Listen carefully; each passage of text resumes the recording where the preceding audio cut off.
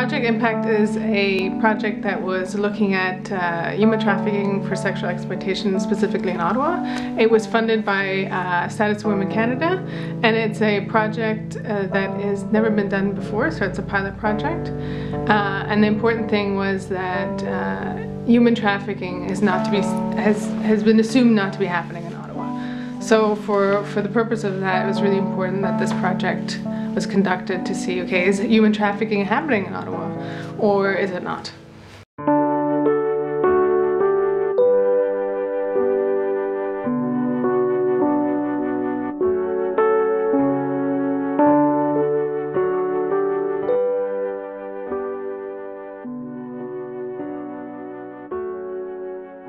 We define human trafficking to have three elements. So you need the act, the means, and the purpose. For the act, uh, there's an element of recruitment happening or transportation. Uh, the second one is the means, which is uh, there's got to be some force or coercion happening. And then the third is the purpose, and that is for the purposes of exploitation.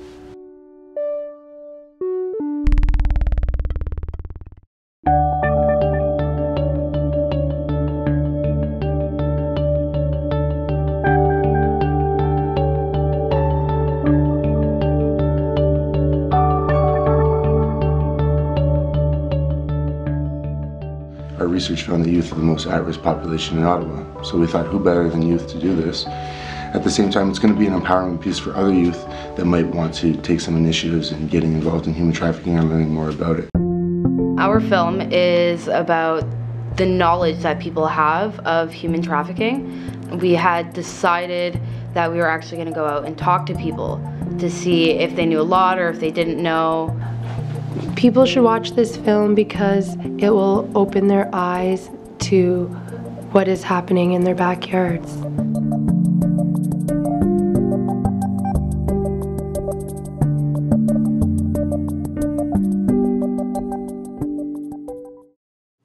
As a group of young filmmakers, we set out to raise awareness of human trafficking in the form of sexual exploitation. Our goal was to show how naive we are in society to this. What is human trafficking for uh, exploitation? Uh, wow, what can I say? Uh, uh it, it's an epidemic around the world. That's what it is. Um, selling your body for money. Forcing somebody into sex trade against their will, trafficking, moving them from one place to another against their will, most likely.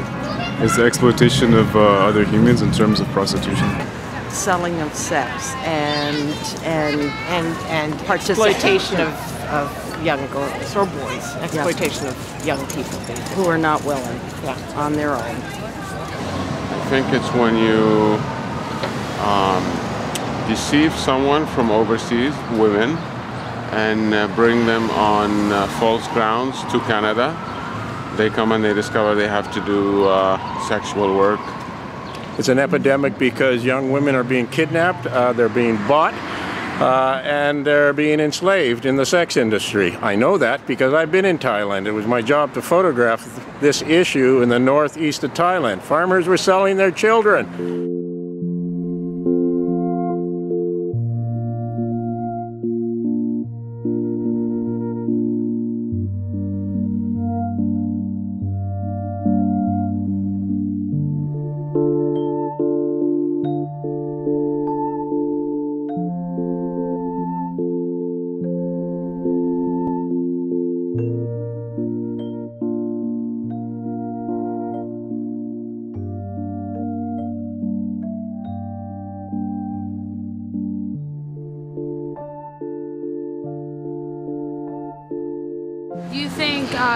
Trafficking for sexual exploitation is a problem here in Ottawa? Yes, it is. Yeah? It is. Actually, it is. Like, they've arrested people for human trafficking. I heard it on the news. Yes. Yes. Yeah. Anywhere there are people, people are going to be taking advantage of, of those who, who don't have advantages. Why are we letting it happen? Stand up and change the cycle of human trafficking. For more information, go to pact-ottawa.org.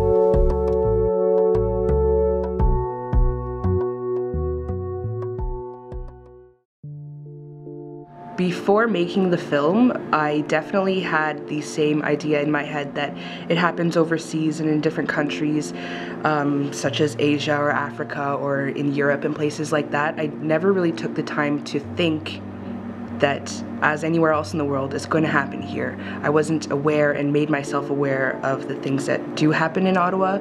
People think that human trafficking victims are actually foreigners or from the, um, Asia or from Eastern Europe, but actually what we found through the research is 90% of the human trafficking victims are from the Ottawa area or are Canadian citizens. I know someone uh, who has been bought and sold against their will uh, for sexual exploitation and sex like sex jobs. So. It's, it definitely does happen within Canada. To say that this is a foreign issue is not true. It's actually happening here in the city and it's happening to Canadians.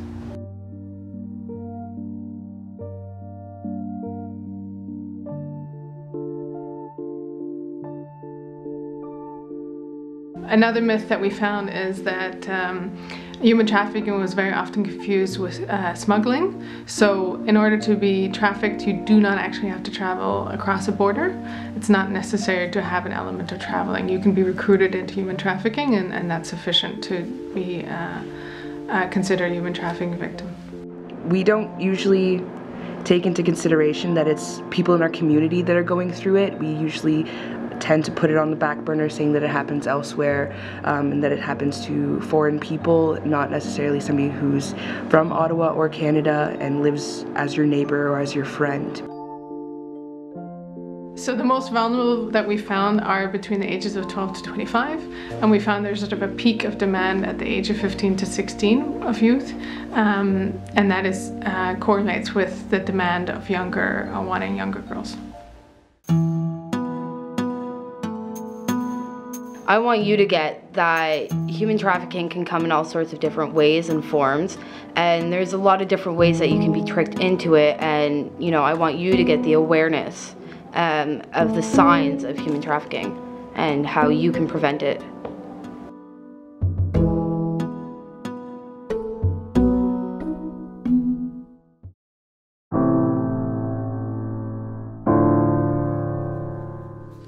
Human trafficking for sexual exploitation is often a hidden crime, and accurate statistics are difficult to obtain. A recent study found that 90% of women trafficked in Ottawa are Canadians from the local areas. A guy will message a girl on Facebook and just start flirting. And if you have a few mutual friends, you already feel a bit safer. It's very efficient. He can send that same message to several girls at once. I never felt socially accepted as a teenager because I was different than the rest of the girls. When he came along, he not only gave me lots of attention and love, but he also made me feel included and accepted for who I was. That made it easy for him to pull me in and keep me for a while. It felt like home. He knew the names of my mom, dad, and siblings, where they go to school, where they work, and where my family lives. In the game, you don't ask, you just do what you are told. Just knowing what human trafficking is would have helped me. I didn't even realize I'd been trafficked. They should talk about this from a young age in schools. They say victims come from broken homes, but I didn't. I came from a really good family, and this still happened to me.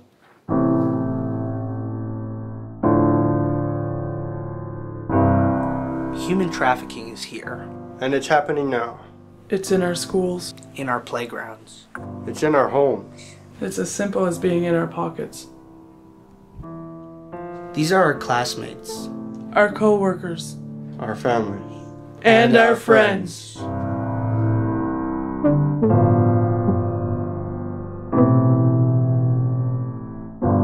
Together, with awareness, we can create change.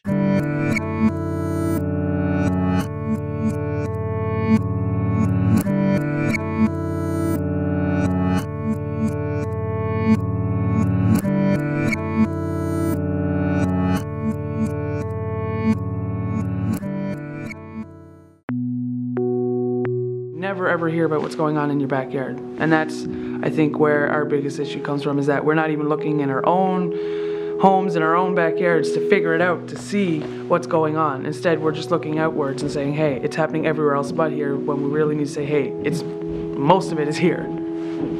human trafficking is not about simply abducting or kidnapping a girl.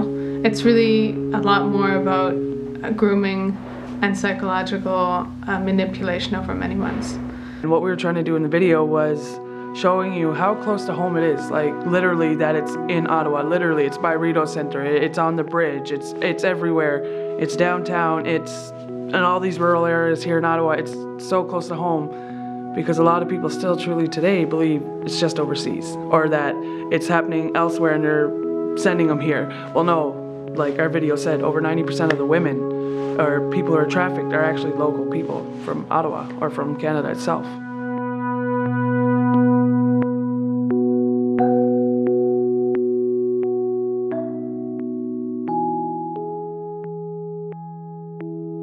Our film is called The Friendly Fake, and our film is about basically um, human trafficking, but on the aspect that anyone, so basically anyone can be not what they appear to be.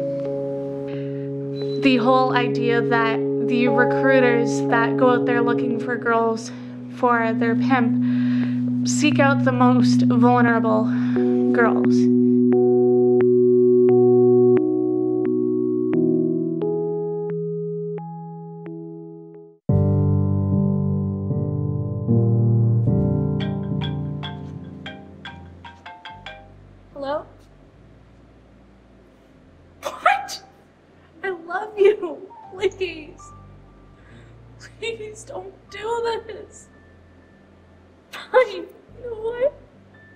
Hey,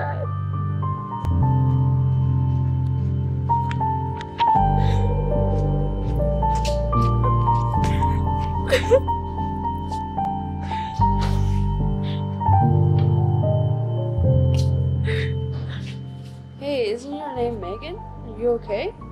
Yeah, yeah, I'm fine. You've been crying. What's wrong? Is someone bothering you? My boyfriend called me today and he broke up with me. Two years out of nowhere. What? He obviously doesn't know how amazing you are. There was another girl. I'm such a freaking idiot.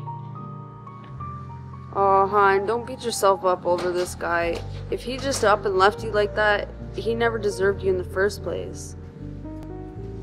Maybe you're right. I don't really know you. I'm sorry for dumping all this on you. Hey, it's okay. I'm here for you. Thanks. Right now, I feel like you're the only person who is. I feel so bad for you. I've been in your situation before. Do you want to go grab a drink or something? It's on me. I don't know. It's getting late. Do you even have anywhere to go tonight? No. Not really. Look, why don't you come with me to my house? Me and my boyfriend, we're gonna pick up some food, some drinks, and some fun stuff, if you know what I mean. Why are you being so nice to me? Because I know exactly how it feels to be in your situation, and I would appreciate someone reaching out to me. Wow. Okay. Thank you so much. I'm only here to help, no problem. Now let's get out of here. Okay.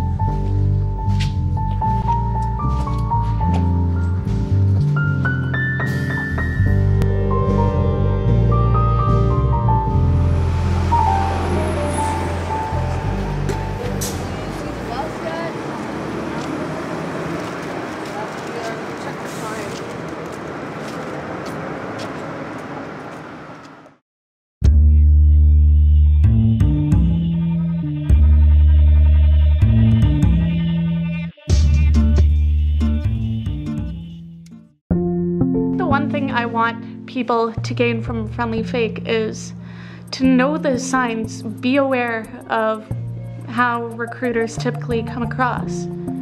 There's a lot of psychological grooming that's going on. So uh, in Ottawa, we heard a lot of cases where um, the girls are just vulnerable because they're somehow not feeling socially included or they're feeling the pressure of gender stereotyping, of needing to live up to a certain sexual stereotype.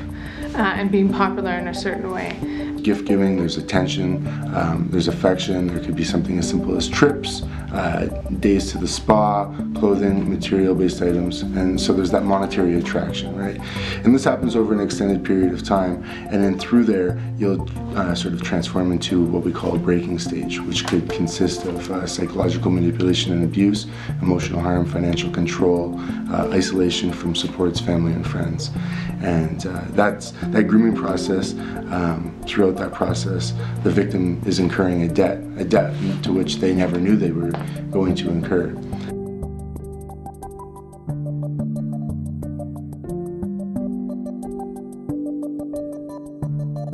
If someone's being really friendly towards you, at times it may be a bit too good to be true.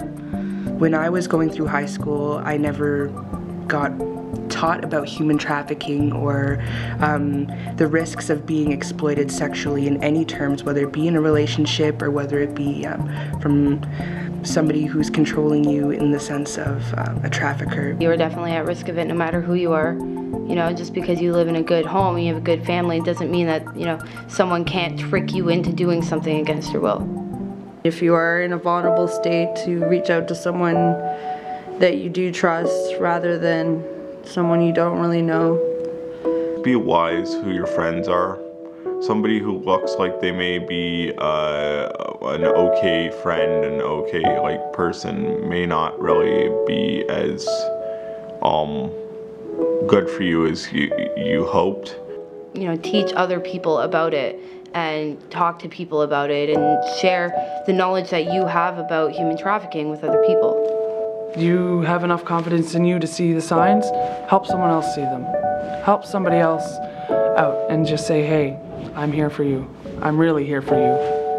If more people decided to try and create positive change in the world, then positive change might happen a lot quicker.